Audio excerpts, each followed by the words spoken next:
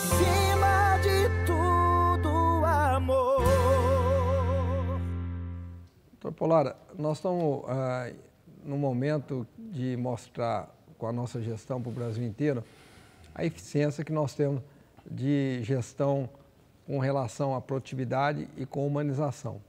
O senhor sabe que nos, nos AMES, é, são acho que 60 no estado de São Paulo, nós conseguimos, não sendo o, a, o nosso, é, nosso perfil principal, que nós somos especializados em câncer, nós também provamos que é, seria capaz de implantar a humanização que nós implantamos nos, no, na, no Hospital do Câncer, que se tornou hospital, conhecido Hospital do Amor, nós conseguimos levar esse, esse êxito para dentro dos nossos projetos é, dos AMES.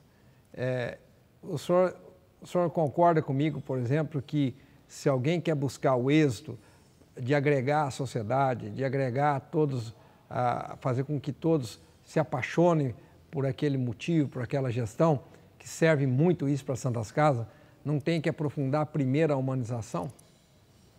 Com certeza. É, eu acho que é o, o, foco é o paciente, no sentido amplo da palavra. Não é só curar a doença, é dar o apoio que ele precisa numa, numa hora fragilizada, quando ele está mais precisando de um apoio, às vezes nem, nem é um apoio técnico médico, é mais uma mão amiga que se estende. E quem que se preocupa é, com o paciente, como é o seu caso, de não só se preocupar, mas se colocando no lugar do paciente, eu já vi muitas vezes, nessas visitas que nós fazemos, você olhando e se sentindo ali naquele local, naquele ambiente, naquele, naquele quarto e se colocando no lugar do paciente. Eu acho que isso é a maior prova de amor que existe, é você se colocar no lugar do outro e sentir o que o outro poderia sentir naquele momento de fragilidade. Eu acho que isso é, um, é uma orientação, é um mote que tudo que se fizer nessa direção, tenho certeza que vai dar certo. A gestão voltada um, ao paciente, a gestão voltada ao ser humano, a gestão voltada à caridade, a gestão voltada a uma preocupação muito além do que a doença, é, sem dúvida alguma, a receita, a sua receita que deu certo.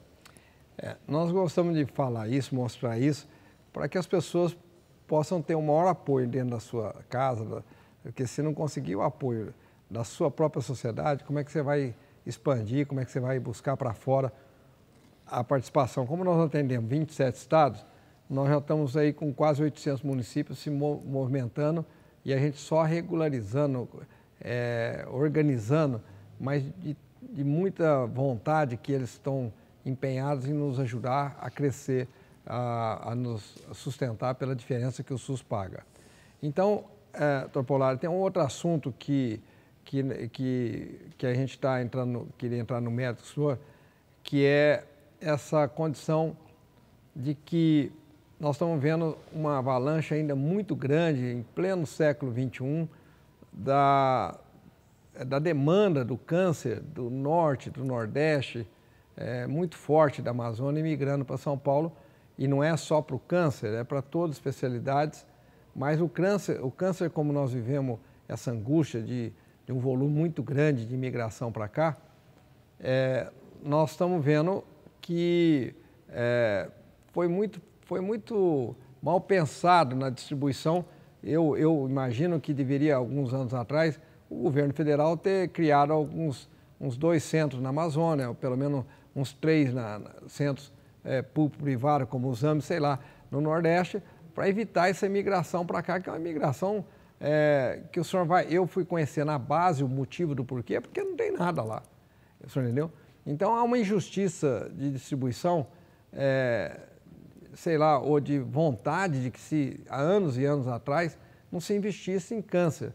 Porque essa imigração é um fator dos mais desumanos para mim, de ver que essas pessoas com 3, 4 mil quilômetros de distância, com dor, com sofrimento, tem que vir aqui tratar de câncer. Quer dizer, é, isso é uma coisa que, que eu sou um pouco, como diz, um pouco revoltado com de encontrar um país que tem tanta riqueza, que o senhor prova que o orçamento daria para tudo, é, é, questão de má distribuição. Que o senhor falasse como é que, o senhor, como é, que é feita essa distribuição, daquela, essa conta que o senhor fala, do tamanho do dinheiro que existe, que seria suficiente mais que suficiente para pagar o serviço. Dá uma explicação disso para nós. Na, na realidade, o, o que, o, por exemplo, o ministro Meirelles, o ministro Ricardo Barros estão falando hoje em dia, é que o Brasil deve investir na qualidade do gasto. Isso não é só na medicina, isso é na educação, na segurança, em tudo. Por quê? Porque durante muito tempo não se preocupou com a qualidade, o quanto estava se investindo e quando se retornava daquele investimento. Então, essa questão da distribuição dos recursos pelo país, nós temos que considerar também que a medicina tem uma economia de escala. Você não pode montar uma estrutura como você tem aqui, por exemplo, em Barretos, no meio da Amazônia, uh, por exemplo, com, sei lá, 20, 30, 50 mil pessoas em volta. Não seria viável, não teria massa crítica de pessoas para acontecer isso. O, e dessa forma também é que foi distribuído o dinheiro, os recursos para a saúde foram distribuídos igualmente pelo, pela população brasileira, pelo país, de acordo com a população de cada local.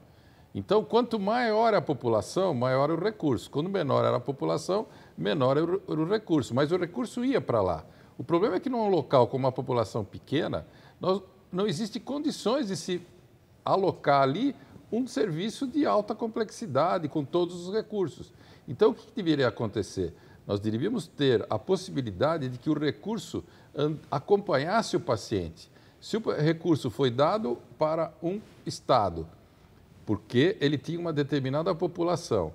E essa população, um indivíduo dessa população precisa sair do estado e ir para outro para se receber o tratamento, porque ali não é viável, ele teria que vir junto com o recurso. E é isso que nós estamos pleiteando no Ministério, para que eh, eh, esse recurso que foi distribuído não precise ser gasto especificamente naquele estado, possa ser acompanhar o doente e financiar o seu tratamento onde quer que tenha o melhor recurso para ele. E o melhor, às vezes, depende de, um, de uma economia de escala. A gente costuma dizer, quem mais faz, melhor faz. Então, por exemplo, você pega um estado tipo Tocantins, ele não tem um volume de casos que justifique a presença de uma equipe de alta qualidade lá em Tocantins. Então, os seus pacientes deveriam ter o direito de pegar aquele recurso em dinheiro e trazer para o local onde existe o especialista e ali ter o seu, o seu tratamento financiado. Essa é a lógica que nós estamos pensando para o futuro. Então, se essa lógica acontecesse, nós teríamos um, um, um direito, o senhor já fez essa conta, um, um direito de quase, não sei se é quase 4 milhões a mais. 3,800. 3 milhões e 800, e que seria justo, e que o senhor levantou os números, e ver o atendimento que nós temos de todos os estados e não temos essa compensação de forma nenhuma. Né? E, e o senhor acha que isso é, vai ser uma coisa que vai acontecer? Pra, pra, porque não é só para câncer que nós estamos falando, né? É, o senhor acha que isso vai mudar a nível de país, de, de gestão? Na realidade, se tem alguma coisa que é democrática nesse país é o SUS. O SUS depende de reuniões locais, que são as CIRS, Depende de reuniões bipartite entre Estado e município, depende de reuniões tripartite entre Estado, município e federal, e é, são estas instâncias, instâncias que gerem o dinheiro SUS. Então, isso precisa uma conscientização para que essas pessoas que têm o poder de gerir o SUS, e ele é, um, é, ele é totalmente democratizado dentro do nosso país, entendam que isso precisa ser feito. Quer dizer, não é uma coisa que eles de, devem ou não fazer. Nós devemos que convencê-los de que isso é, é inevitável, vai ter que acontecer, porque senão aí está o grande desperdício. Nós alocamos o dinheiro de um local que não tem condições de fazer aquele tratamento e fazemos com que aquele paciente tenha necessidade de ir para um outro local aonde não está alocado o dinheiro. Então esse é o grande problema. É, isso que eu entendi que é importante é porque, por exemplo, é, o, nós temos um, um, hospital especializado em pediatria, que agora nós recebemos é, pacientes é, do Brasil inteiro, da Roraima, da Amapá, da Amazonas, toda com a, e que às vezes tem um caso, é um caso de alguns tipos de câncer infantil que não justifica ser tratado a não ser num hospital no Brasil inteiro. É, porque é tão raro e tão pequena a quantidade, o nosso, nossa demanda para o infantil com adulto, nós estamos atendendo esse ano, acho que mais de 15 mil casos novos de adulto, e não vai dar 500, vai dar 300 e poucos casos de criança. Quer dizer, a demanda é muito pequena e as pessoas acham que abrir um hospital infantil é, vai ter demanda e vira aqueles elefante branco que, que não tem suporte. Deve existir um conceito mais é, atendimento é, de, de, coisas mais, é, mais secundárias ou, e que migra para onde for o, o câncer, é, o tratamento for, for mais completo para outros centros maiores por causa de custo. Porque tudo é muito caro em câncer, né? Nós sentimos aqui, é, o senhor quando fala nessa diferença que está no nosso direito, o senhor já viu aquele, aquela, aquele quando o senhor fecha o olho e vê o, cifrão assim, a maquininha. Eu falei, mas que dia que vai acontecer isso? É. Então a gente fica ansioso aqui, esperando que é, esse país possa estar tá fazendo mais justiça com, com, com quem se dispõe a, a sair, buscar soluções. E o senhor sabe a força que nós temos de buscar é, alternativa na iniciativa privada, buscar apoio na iniciativa privada.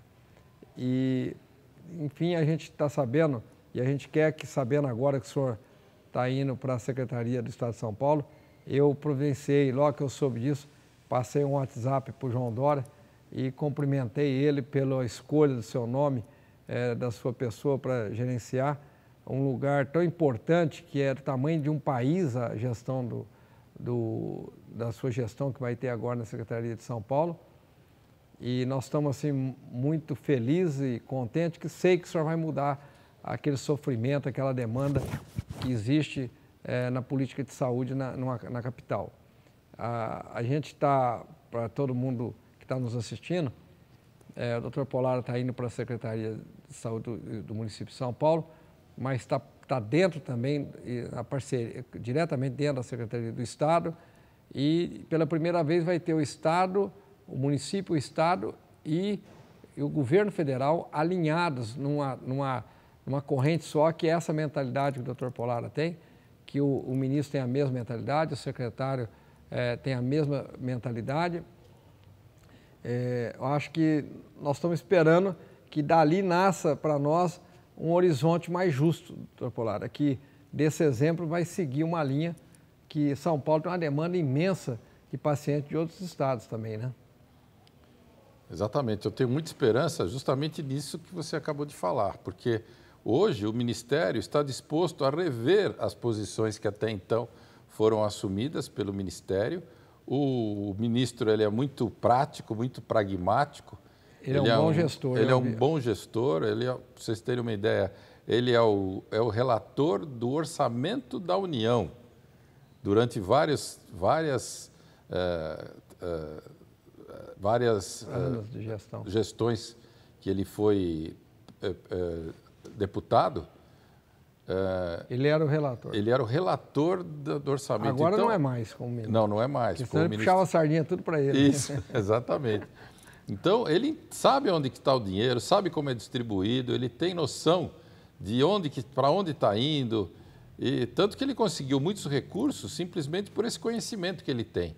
Da mesma forma, ele está enxergando também a medicina do país, a saúde, como de uma outra maneira, uma maneira mais efetiva, mais prática, de uma forma que nós precisamos, precisamos resolver o problema do paciente a um custo adequado e com a maior eficiência possível. Não há condições no país que nós vivemos hoje de termos desperdício.